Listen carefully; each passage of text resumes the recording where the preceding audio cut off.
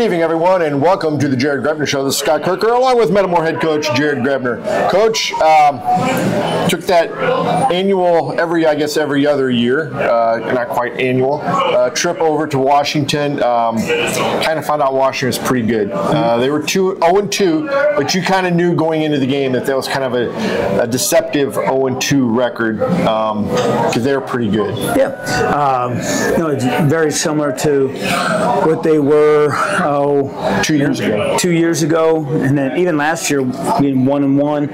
Um, you know, they played some very good competition to start the season.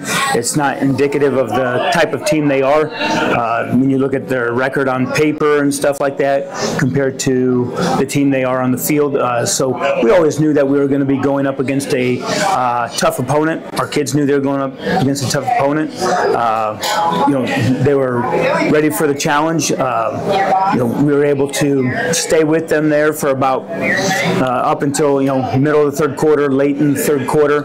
Um, kind of ran out of gas uh, there at the end. Um, you know, give Washington credit. You know, um, they came out with the win, uh, but our kids never quit uh, up until that final horn. Uh, yeah, you know, and the thing that I, I thought one of the silver linings, and let's face it, there, there are going to be some, and there definitely were some last Friday night. I thought your offensive line um, at times we're overmatched a little bit, but they're a very young and inexperienced group of kids. I thought by the end of the game they did pretty well. They they they had some nice blocks. They did some nice things. Yes, they went against an experienced defense that had I think what seven returning starters, maybe eight returning starters on a team that went to the semifinals last year and gave East St. Louis all they wanted. And those, the bulk of those kids were back. You know, Carter Prina, uh, uh, Noah Bell. They those guys were back this year, and that was a that's that's the core of a really nice defense. And our guys still were able to create some some lanes and some holes for the backs. Yeah, uh, you can always find silver linings. Uh, you could actually see us grow as the game went on. I'm not going to say everything was perfect uh, from anybody by any means, but you could see strides being made as you watched film. You know, uh, especially on Evans. Um, 77 yards. 77 yards touchdown run. I mean, it was blocked really well. Um, you know, we had the freshman lineman, you know, Evan. He, he got after it, um, and you know, was positioned himself good against Carter Prina, you know, who was a three-year starter, and you know, he lost some battles, he won some battles, um, and that's kind of how the night went. Uh, and so we figured some stuff out about our, ourselves as a team. You know, you mentioned some of those guys up front already with Bell and Prina and those guys, but they had some guys that have gone deep in playoffs. Uh, they've been three-year starters for them. Uh, they kind of plug and play. They had some uh, new linebackers. Uh, you know, they had Andre Lewis, who's a returner uh, in the secondary. You know, they have AJ Jones that you know transferred back in, uh, who's a good athlete. So they have a core of guys that have a lot of game experience. And, They've been through some wars. They have. You know, some of those guys went to the quarterfinals. They went to the semifinals, um, and so they they've been in some really big games uh, before, yeah. and, and, have been underneath you know some bright lights. Uh, for some of us, that was our first time underneath some really bright lights under you know a, under a microscope everything's uh, you know everybody's watching you, and the little details just matter. Whether it's your first step, whether it's eye placement, whether it's uh, reading the correct keys, whether it's getting a uh, good read step, or whatever it might be, um, whether it's pad level. Um, so there's we could go on and on and on, but um, it just goes to show you, you know, that we can chalk it up to a learning experience. Um, you know, moving forward for this season, uh, to see you know, where we have to improve and uh, how fast we have to make those improvements. Uh, you know, we, we, just talked about your offense, and the offense struggled at times, had some good things. I thought for the majority of the game, for a good close to three quarters, your defense played outstanding. They went down and scored on their opening drive, took it down, scored. And from that point to almost the fourth quarter, you played even with them defensively. Um, I thought we did some really nice things. You you forced some fumbles. You know, unfortunately, the, the way that goofy ball bounces, it never we never really had a chance to recover any of them. No. Oh, they got kicked out of bounds. Yep. you know, and so that first drive, they actually went down. They were they had a lot of momentum, and uh, thank goodness they got a false start penalty, and then they had kind of a mix up on a handoff, and they ended up having to punt on fourth down. Um, but they had a great punt. Um, I mean, we started on our own 10 or 8 or something like that, and then they scored on their second drive. Um, we were able to hold. The you know one key thing for us was you know after the interception we threw, we were able to hold them to the field goal, and it, it was 10 nothing. Now, uh, were there moments that we bent in the first half where we were giving up some chunks? Yeah, but uh, those kids found ways to make enough plays um, to make it interesting, uh, to say the least. Uh, was everything pretty? No. Sometimes um, you know you just got to muddy things up. You know, Washington, you know, kind of muddied some things up with their run, run game. You know, just kind of had a little scrum in those first couple series. Um, then they went back to you know some you know belly lead, some midline action, and uh, so they got after it in you know their old school eye and just uh, just kept running the ball at us. I don't even know if they even threw the ball in the second half uh, one bit. I think they maybe attempted three pass plays. Um, I thought they were one for two. I so it wasn't very much. Uh, I think he got sacked on one uh, late in the first half when they got the ball back, and so I, they might have called three. You see, Yeah, yeah, my, you know, you know, now, uh, they called four because Avery defended one, Shock tackled him one for a negative two-yard loss, and then they had an incomplete over the middle right before that second half. So they were like one for three, and it was like a, for negative two yards. But uh, unfortunately, we didn't do enough on first down to put them in long down and distance. And I thought that was key because uh, Washington was playing a- ahead of the chains, um, which seemed like for a majority of the game. And so uh, when they were able to get those first downs, and when we did hold them to a punt, um, they were punting from you know the 50 or the 45, you know, and so uh, it was very hard for us to flip the field on them, and, and I think that was another key thing.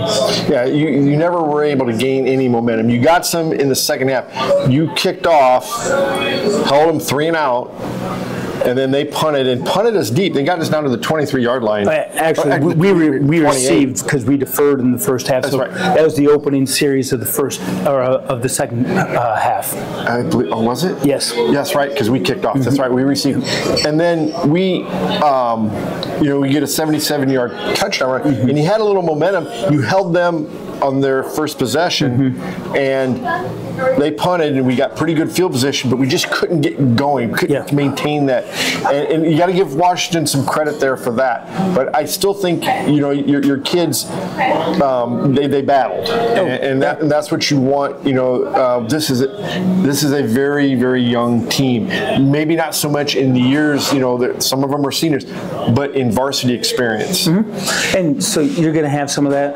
Um, but the thing is, um, at some point, I think all of us would. Uh, can't keep treating them like they're young or inexperienced because uh, the football season's short. Uh, you, you get nine weeks that are guaranteed, and then everything after that's a bonus. Right. And so, you know, we're sitting here and it's week four, and so at some point, uh, coaches, players, and everything like that, uh, we got to make sure that hey, oh, we don't have time. You know, Right, right. Uh, we don't get a lot of time to uh, play around with this lineup or uh, try this and uh, maybe go through some growing pains because uh, you know, that next game's here. You know, you, basically you get three work days between Monday, Tuesday, Wednesday. Thursday is kind of a walkthrough where the hay's in the barn already. Yep. And so, um, you know, it's just a matter of do the during the season how fast can we get to where we need to be. Um, and they're doing a good job of working every single day. We have Metamora is always full of coachable kids. Uh, that come ready to work every single day, uh, and kids that want to get better. And so uh, we're excited where this team's going. Uh, we're excited for what the future holds, and we're looking forward to this Friday. You know, you, you, you got beat Friday night. I, I guess the question is, is mentally, are, are, are the kids over the loss to Washington? Yeah, I mean, uh, do losses always sting? For sure. Um, you know, we always say uh, the harder you work, the harder it is for anybody to give up. Um, and these kids put in a lot of hard work this offseason. Um, did we come out on the wrong end of it on Friday night? Yeah. Um, nobody will dispute that. Did it hurt? Yes. But it's you know, it's time to move on. Uh, uh, we have Morton this week. If we're sitting there dwelling on it, we're feeling sorry for ourselves. Um, we'll have bigger issues this Friday night. And so, you know, when we look at film, uh, when we coach the kids up, uh, can we learn from it? Yes. And it's not just the kids, coaches, they, they learn from it. From every game, uh, coaches can learn from the game. Uh, the players can learn from the game. It's always a learning experience. you always like to have those learning experiences with the W under your belt, but it's not always the case. And so, um, although it hurts and it stings, um, if you're any type of competitor, it's always going to be that way. Um, no matter if it was the season opener or whether it's you know quarterfinals, semifinals, or whenever it is, um, losses hurt because um, you know you have put a lot of work in, and deservedly so. but these kids will be ready for Friday night. Um, Homecoming. It, not this Friday. Oh, that's next, next. That's that's the next one. Okay. And so um, we'll just get you know our blinders on and get ready for Morton. Um, why don't we take a timeout? When we come back, we'll talk about the uh, player of the game. We'll talk about this upcoming game, and then we'll talk about the rest of the Middle Illini Conference. Yes. Central Illinois, you asked for it and we listened. Germantown Grill is growing to meet customer demand, adding more dining space and a private gaming area featuring games powered by Gold Rush, the gold standard in video gaming. And Germantown Grill still has all the food and spirits that keep our customers coming back. Stop by to check out our daily specials. The game's on at Germantown Grill, where Central Illinois loves to eat. Open seven days a week, just off Route 116. Welcome back to the Jared Grebner Show, Coach. Uh, first of all, I want to thank, uh, yeah, I want to thank um, Jake Atkinson and his wife Sarah for allowing us to film the uh, Jared Grebner Show here at the Grill. Um, always, they've always been very hospitable. Yeah, very gracious, um, very great place to come eat. Um, you know, we're very fortunate to have a place like this.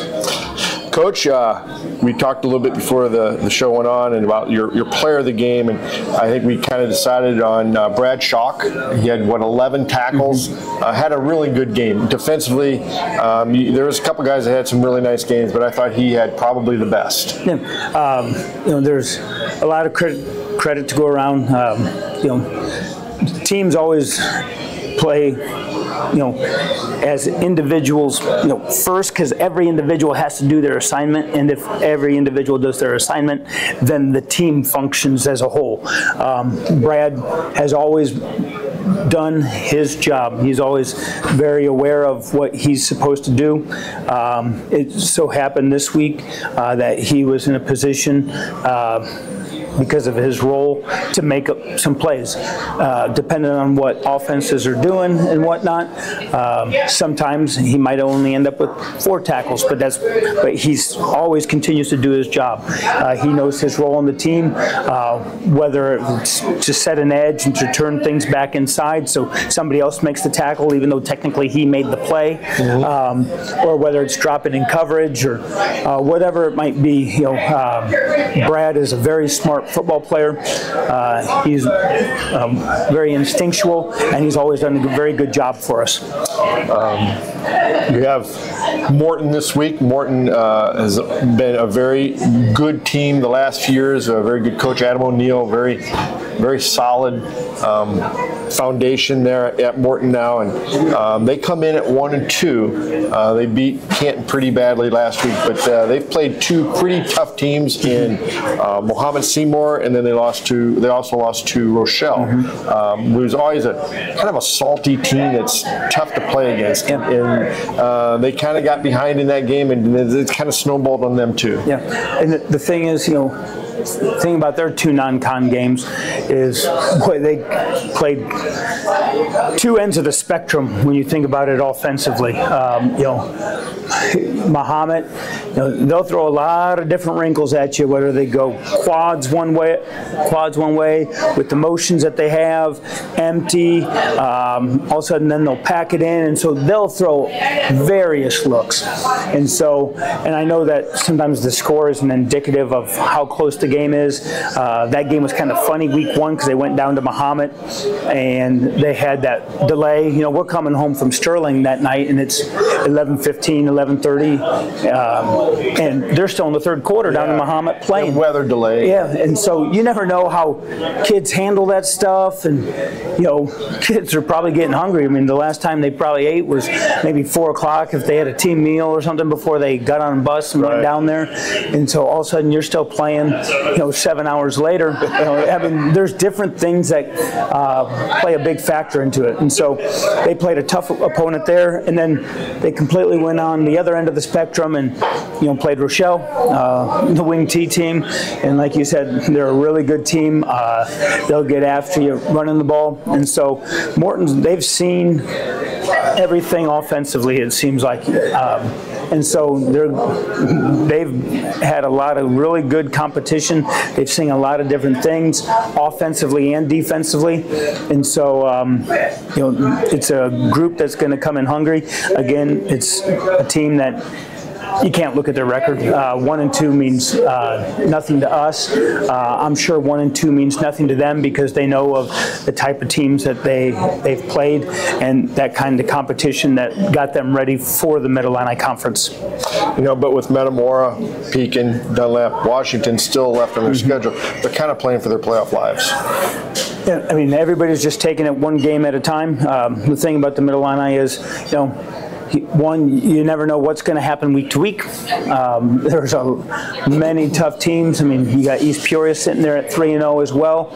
Um, um, so you never know what can happen on any given Friday. Things change due to, you know, maybe a sprained ankle or something like that, Injuries, or somebody yeah. has to sit out. Um, and so you just never know what's going to happen, even with you know just teenage boys in general. You know, I mean, teenagers, yeah. teenagers, you, you, just don't know. I mean, did, is something going on? Uh, you know. Uh, with home. at home, um, are they worried about homecoming and stuff like that? There's just so many other factors that come into play that uh, you just never never know what can happen. Um, we just always do our best uh, to help our kids out, both on and off the field, and get ready for every single Friday night. Anything else in the Mid Illini surprise you at all? The thing is, it's last week it was so early. Um, I don't know what is really a surprise. Um, yeah. You know, I mean, like, you know, I think a lot of people in the area were surprised by uh, Pekin Dunlap. Um, I don't, I don't know if I was because I haven't seen either of them play. Right. I, mean, I, mean, I know uh, what papers have said and stuff like that, but it's pretty hard to make any type of rush to judgment when uh, you're just taking it week by week, and you know you have Washington on your plate, and the only film that you've watched so far in the conference was Washington up to that point. Uh, no, you've seen scores and stuff like that, but you know I haven't seen any Dunlap film. I haven't seen any any Pekin film. Uh, I've seen two teams in our conference, and that's Washington, and that's uh, Morton now that we're playing them uh, because us coaches we got to have the blinders on as well uh, because, like you said, there there is a lot of tough competition, and um, we're, we'll worry about those teams when we get to them. Um, it is always kind of fun just to you know do a little comparative scoring, but sometimes matchups are just different. Some matchups favor another team compared to another, and so um, every Friday night brings um, new challenges, brings different challenges, and so um, we just look forward to the one uh, Friday that we get this week and live in the moment. Hard to believe it's week four already. Yeah, I mean, you're sitting there thinking, man, you know, you're more than a quarter of the, or more than a third, you know, third of the way Yeah. through our season right now, and so it just goes to show you how fast the season goes, and uh, how we should just really, you know, kind of live in the moment with our teammates, and you know, uh, because you're just not going to get this type of camar- camaraderie every single week. Coach, um, you know, you're, you're sitting at, at two and one in the conference, and um, you know, it's it's still a pretty a pretty promising future for you. You know that uh, you got some tough teams ahead of you, but um, you know I, I think you're pretty confident, um, as you should be. And uh, you know you, you- you've had a few dings. Fourth week of the season, everybody's got dings, um, so you're probably not any different than everybody else. But um, you know, it's it's uh, it's fun. You, you got to enjoy it. You got to have some fun, and and these kids are going to give us a lot more enjoyment. I know last Friday was a, a downer, but you, still got you know six weeks left, counting this Friday. And, um, it's going to be fun. Yeah, you know, and uh, football's a great game. Competitive sports in general, they're they're great. Um, you, you don't get that much time with your teammates. Um, you know, us coaches, we don't get to spend that much time with them, um, and so we just have to keep taking it one day at a time. I know practices sometimes can be long, but you work hard in practice so those Friday nights are easy, so that you can enjoy those Friday nights even that much more. Um, and so uh, we're looking forward to this Friday. Uh, you know, try and right the wrong from last week, um, and then you know get back on the winning track. Uh, we're sitting, you know, at two and one. There's still a lot of football to be played, and we look forward to uh, playing all those games. Coach, we'll let you get going here. but thank you very much. W, and uh, we'll see you Friday night at Malone.